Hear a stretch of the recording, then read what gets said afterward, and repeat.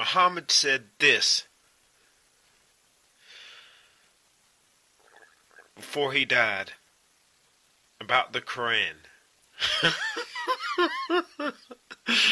I don't believe any of this horse shit.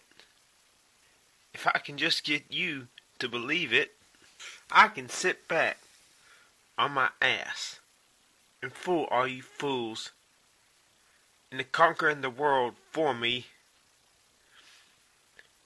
and fighting amongst yourselves.